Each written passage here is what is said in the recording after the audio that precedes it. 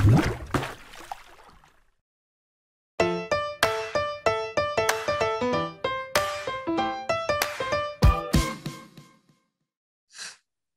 xin chào các con, cô tên là Linh. Hôm nay cô phụ trách môn tiếng Việt 3 và cùng các con giải một số bài tập của tuần 15 anh em một nhà. Ở tuần này thì cô sẽ giúp các con ôn tập lại một số kiến thức trọng tâm. Thứ nhất là chúng ta sẽ ôn tập câu có hình ảnh so sánh. Thứ hai là mở rộng vốn từ các dân tộc. Ở phần thứ nhất, ôn tập câu có hình ảnh so sánh, thì các con hãy giúp cô xem lại kiến thức trọng tâm của các video tuần trước. Thứ hai là phần mở rộng vốn từ các dân tộc. Nước ta có 54 dân tộc anh em. Dân tộc thiểu số là những dân tộc ít người. Họ sống chủ yếu ở vùng miền núi, vùng sâu, vùng xa.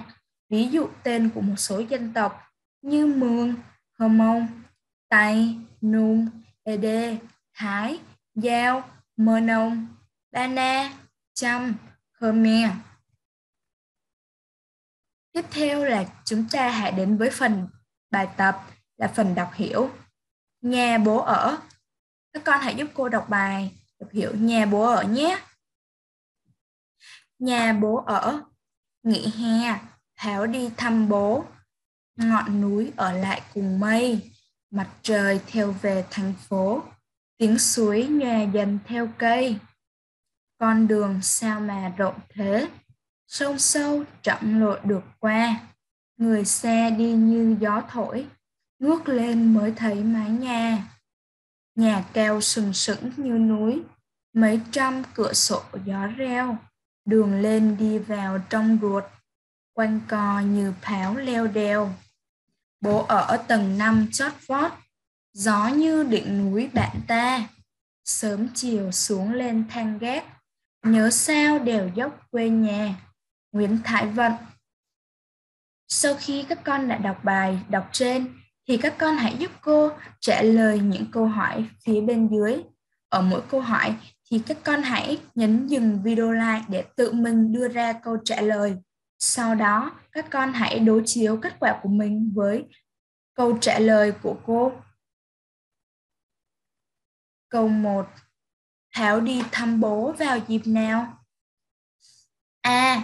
Thảo đi thăm bố vào dịp nghỉ hè. B. Hảo đi thăm bố vào dịp Tết. C.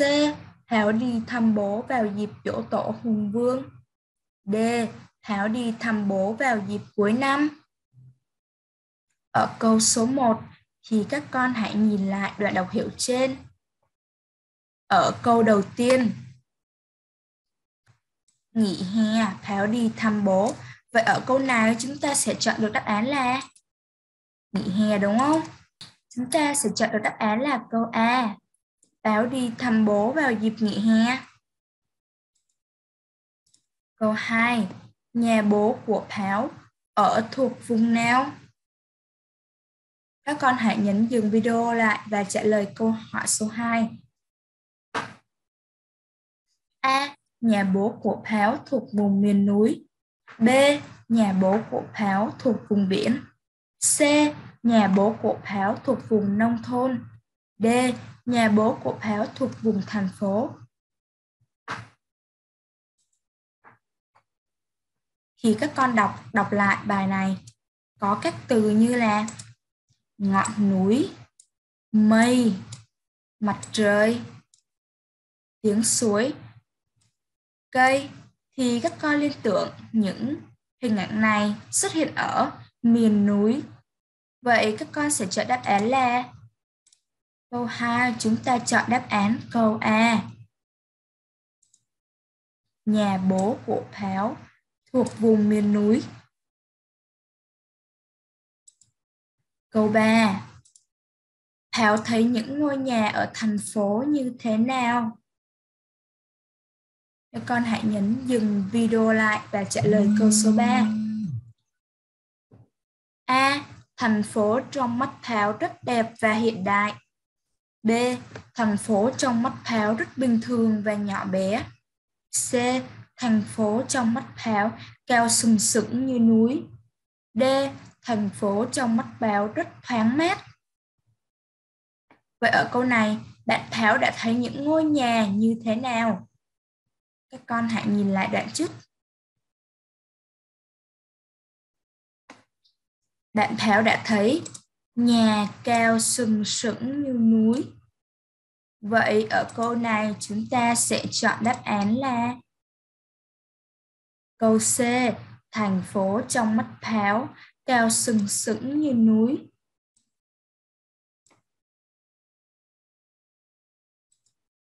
Câu 4. Việc lên xuống thang gác khiến Thảo nhớ đến gì? Các con hãy nhấn dừng video lại và trả lời câu số 4. A. Thảo nhớ đến đèo dốc quê nhà. B.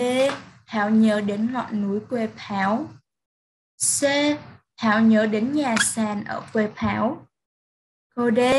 Thảo nhớ đến con đường ở quê Thảo. Vậy, việc lên xuống thang gác, bạn Thảo đã nhớ đến gì? Đúng rồi, bạn Thảo đã nhớ đèo dốc quê nhà. Đây ở câu nhớ sao đèo dốc quê nhà. Vậy ở câu hỏi số 4, chúng ta sẽ chọn được đáp án là câu A.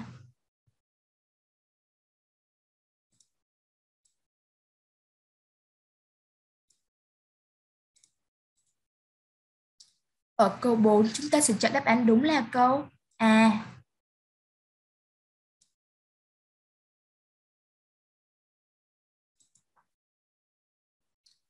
Câu 5. Em hãy tìm và viết lại câu thơ có hình ảnh so sánh ở cuối khổ thơ và cho biết đó là kiểu so sánh nào. Sự vật với sự vật, hành động với hành động, con người với con người, âm thanh với âm thanh. Thì ở câu này, các con hãy nhớ lại kiến thức của phần so sánh để có thể tìm được câu có chứa hình ảnh so sánh. Các con hãy nhìn lại và đọc hiểu khổ cuối, chính là khổ này. Con đọc coi, câu thứ nhất, bố ở tầng 5 chót vót, gió như đỉnh núi bạn ta. À, ở câu này thì chúng ta có thấy từ như là từ so sánh. Vậy câu này chính là câu có hình ảnh so sánh. Vậy các con hãy ghi lại giúp cô ở phần bên dưới là câu, gió như đỉnh núi, bạn ta. Các con ghi như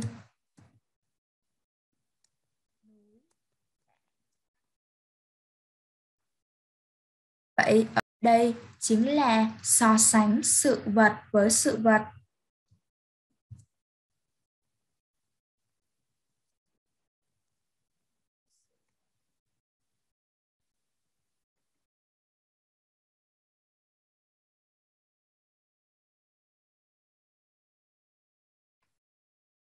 Phần tiếp theo là phần luyện tập. Bài 1. Điền vào chỗ trống xôn xao.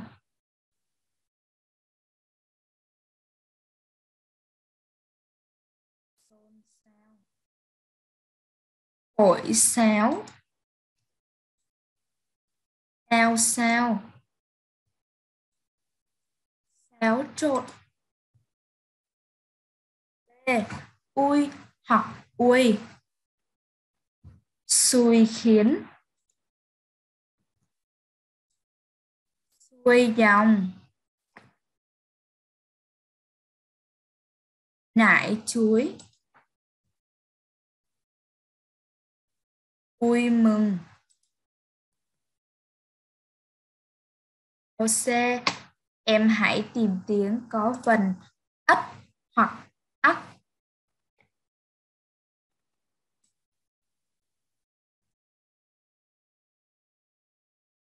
C em hãy tìm tiếng có vần ất hoặc ngôi nhà ấy vào những ngày tất niên Mẹ con tôi năm nào cũng có. Một, từ sân vào. Qua, ở đây chúng ta sẽ điền từ bậc.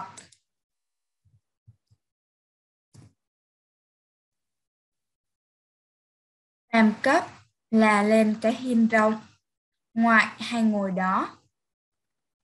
Lật từng trang báo, vậy ở đây chúng ta sẽ điền từ lật. Cậu Xuân bao giờ cũng là người đầu tiên chạy xuống sân, nhấc bổng tôi qua. Nhấc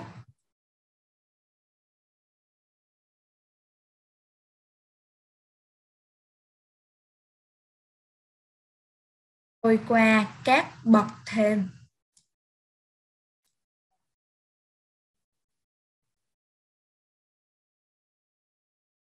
Vậy là chúng ta đã làm xong bài thứ nhất. Ta Qua bài thứ hai. Em hãy viết lại câu văn có chứa hình ảnh so sánh.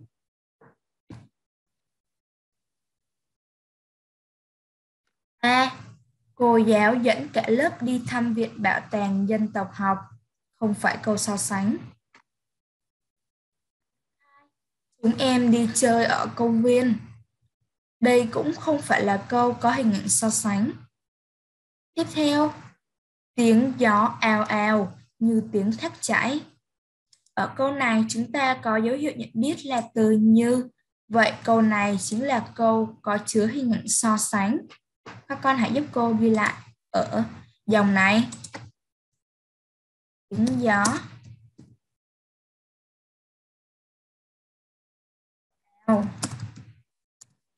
Như tiếng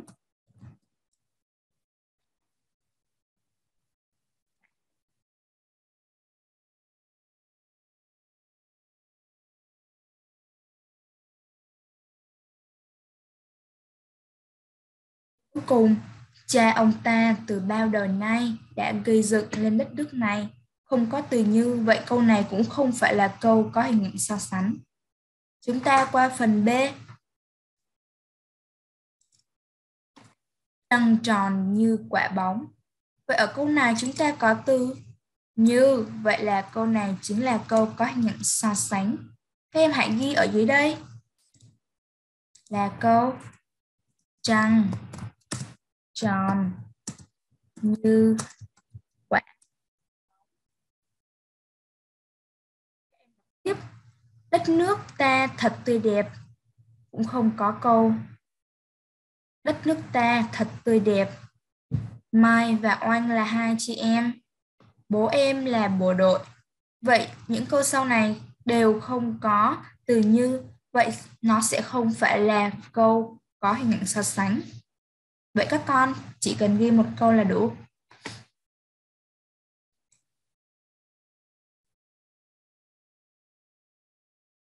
Bài 3. Trong từ đồng bào, đồng có nghĩa là cùng. Vậy trong những từ sau, từ nào có tiếng đồng mang nghĩa là cùng? Em hãy gạch chân dưới các từ đó. Ở câu này thì chúng ta có các từ đồng nghĩa như đồng chí. Đồng tâm. Đồng lòng. Đồng hương. Đồng quê.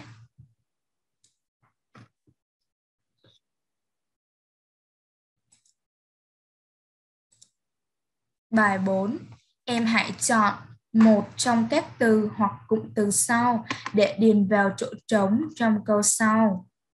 Đồng bào Việt Nam ta phải coi nhau như các con chọn từ gì? Đúng rồi, từ anh em một nhà.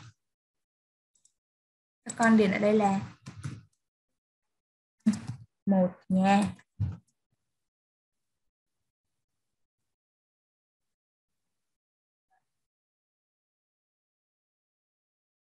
5.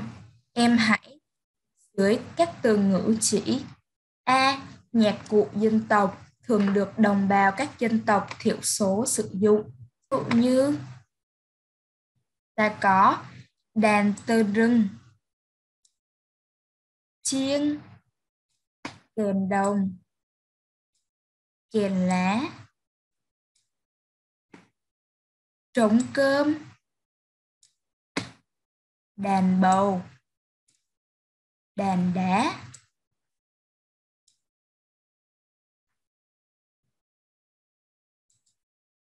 B là sự vật có ở vùng các dân tộc có ít người sinh sống thì chúng ta có nhà sàn, suối, ruộng bậc thang.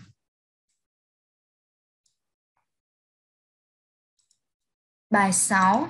Em hãy tìm từ chỉ đặc điểm thích hợp để điền vào chỗ trống trong mỗi câu văn sau. A. Các cô gái đi dự lễ hội. A. Các cô gái đi dự lễ hội trông đẹp, tựa, tiên xa. Vậy các con hãy điền ở đây là từ đẹp, chính là từ chỉ đặc điểm. Đẹp. B. Nước biển xanh như màu mảnh chai. Vậy ở đây là từ xanh. Từ xanh cũng là từ chỉ đặc điểm.